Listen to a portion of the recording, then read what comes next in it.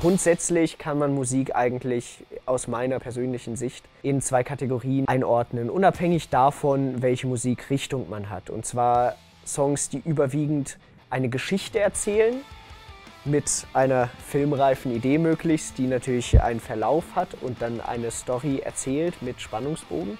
Oder eine Story natürlich auch einen Spannungsbogen hat, aber in der es vor allem um Gefühle geht. Es geht um ein Mädchen, was in Nevada ist äh, und auf, da auf ein Festival geht und dann widerfährt ihr etwas Schlimmes. Es geht um die Vergewaltigung eines Mädchens in äh, der Wüste von Nevada und die Tötung bei einem Festival. Alles ist perspektivisch und es ging hier darum, dass wir Nevada haben als weite Fläche, auf der erstmal ein, eine Ansammlung von Menschen ist, im Sinne eines Festivals. Also erstmal ein grundsätzlich positiver Ort.